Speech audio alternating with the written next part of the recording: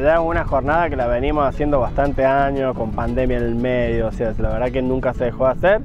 Este, esta, la chocleada de este año se va a hacer el 14 de marzo. Para mí rescatar, digamos, que una, es un evento, digamos, solidario que lo hace la facultad en conjunto con una fundación que es Movilizarse, con una empresa privada que es Cargill este, y con el Banco de Alimentos de Córdoba, digamos. Entonces, bueno, la idea es convocar a toda la comunidad, digamos, este, de la facultad, fuera de la facultad, de la zona y demás, todos aquellos que quieran participar. Este, y bueno, lo que se hace es hacer una chocleada solidaria para aportar este, al Banco de Alimentos de Córdoba. En general lo que hacemos es, digamos, a baja densidad, cosa de tener choclos grandes, por así decirlo. Este, intentamos que sea algún lugar accesible, digamos, cerca del salón de eventos donde tenemos la facultad, donde por ahí tenemos el soporte de los baños y demás. Además para poder cargar el, camión que quede cerca de los caminos. Entonces un poco eso pensarlo desde ese punto de vista de la logística, porque bueno, hay que llenar un camión de choclo,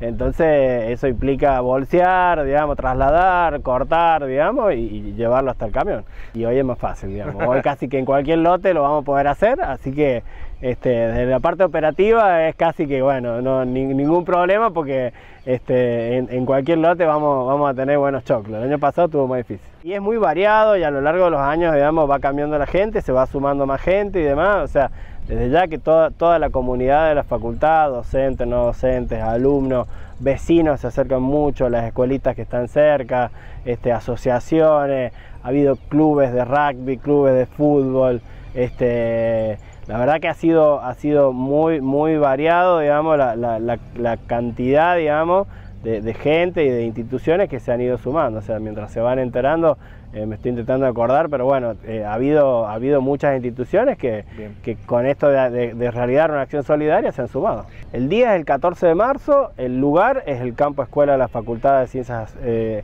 Agropecuarias, que es Camino Capilla de los Remedios, kilómetro 14 y medio, digamos, estamos a 20 kilómetros de Córdoba, saliendo para la autopista a Villa María, digamos, a Rosario, y el horario no está todavía bien especificado, pero seguramente va a ser de 8 a 2, de 8 de la mañana a 12, de 8 y media a 2 y media, o sea, ese es el horario que se suele poner.